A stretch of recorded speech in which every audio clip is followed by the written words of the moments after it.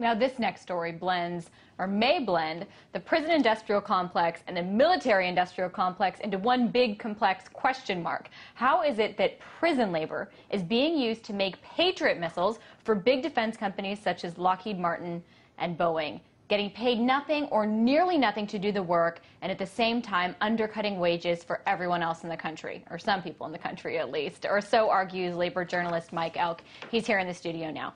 So, First, Mike, do you think that anybody would ever think that in the United States uh, someone would make 23 cents an hour, that that was possible?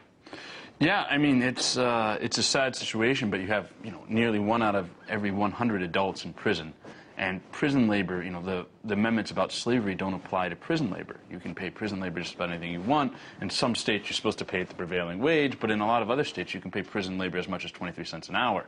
And most of the defense material, you know, all those faulty uh, body armor that the soldiers had in Iraq was all made by prison labor. Uh, almost all of, you know, bulletproof vests are made by prison labor.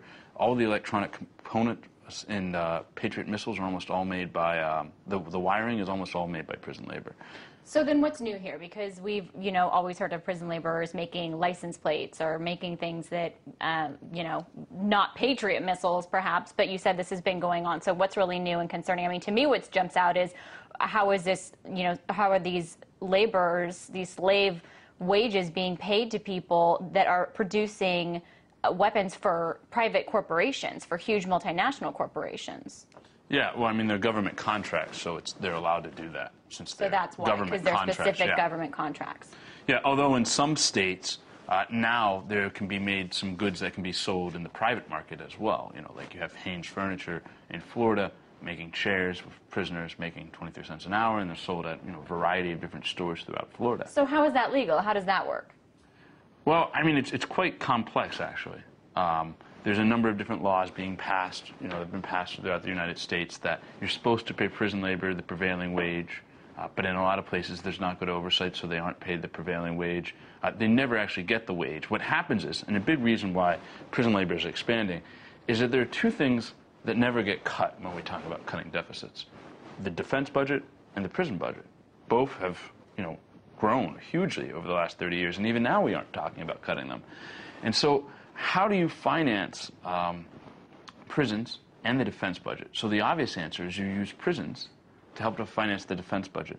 So, they pay the, the prisoners, you know, like 20 cents an hour, and then the state gets some of the money as well from the private corporations.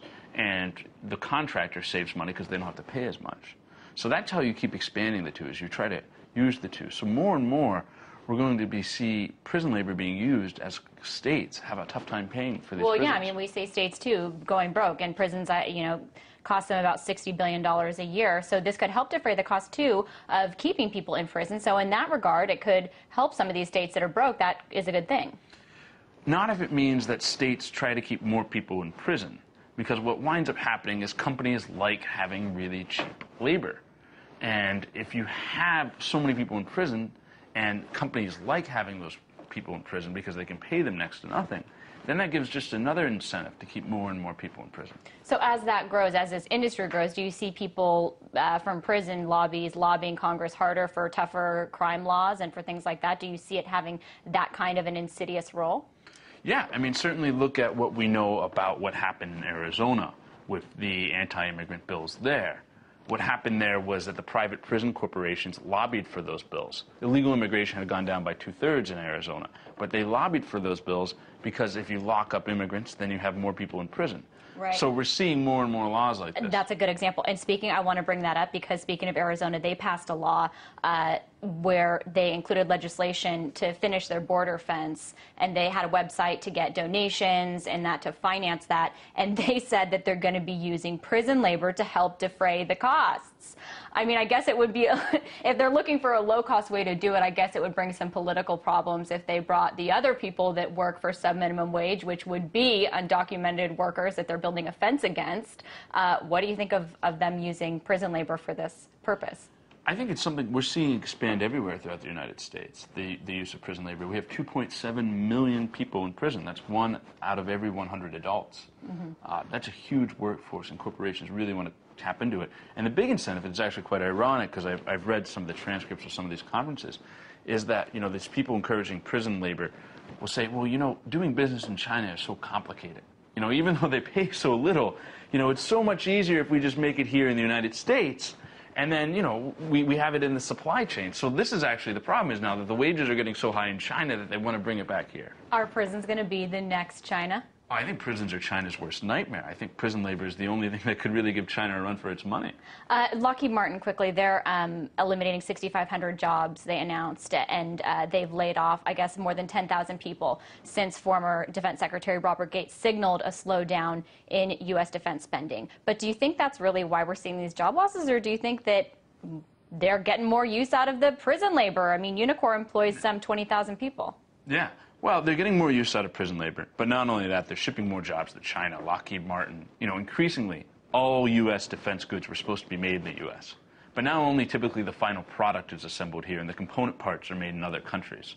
So, you know, Lockheed Martin just signed a big deal with um, with China, and now they're you know they're making jet engines in China, as is GE. So we're seeing more and more of those jobs shipped to China. It's not that those jobs are going away or that Lockheed Martin's profits are going down or because of defense cuts. We're just seeing more of that go elsewhere. I want to keep this conversation going for one more minute. Uh, um, how did this go from union to non-union to prison labor, and how does it affect wages of other workers? It's, it's an incredibly adverse effect because, for instance, if you had prison labor, you know, if you had workers, American workers, union workers making defense parts, they're going to be making good salaries, they're going to have pensions, they're going to have benefits. So they live in an area then that, that drives up wages, you know, if one person makes good benefits and good salaries. But if you don't have that kind of job anymore and you only have these people making 23 cents an hour, it, it really drives down wages. And how, how do private market businesses that don't use prison labor compete with private market businesses that do use Yeah, labor? that's a, that's a good point. But at the same time, one of the benefits is then you have, you know, obviously recidivism is a problem. Uh, prisoners get out of prison, and it's hard for them to get reincorporated into society. And so, on the flip side, you're getting a trained, skilled workforce that's coming out of prisons. They can be uh, more contributing members of society, uh, have jobs, have a skill. Yeah, I mean, in, in a theoretical world, but the discrimination against ex-cons coming out of prison is so great that few of them are able to do that. The recidivism rates in this country are quite high. I think the real solution is not putting so many people in prison in the first place. Well, I mean, there's your solution. I just want to show what some of the uh, other things that, that prison labor is making, just so that people kind of have a sense. Uh, it's not just Patriot missiles, it's riot helmets, it's fingerprint kits, it's loudspeakers, it's salt fog chambers, it's plastic forks and cups, it's floodlights. So it's a lot of different things. Those are all made by Unicor, which employs some 20,000 prisoners at very low wages. So uh, it's really a lot. no, I mean, it's, it's a great amount of stuff. I mean, no Braille books are made in this country that aren't made by prison labor. Well, that's not such a bad thing. I think if you're blind, I mean, I don't know. I'm not a real book expert. That's not my area of expertise. But, uh, you know, it's incredible amount of goods we're being seen made by people that make just about nothing.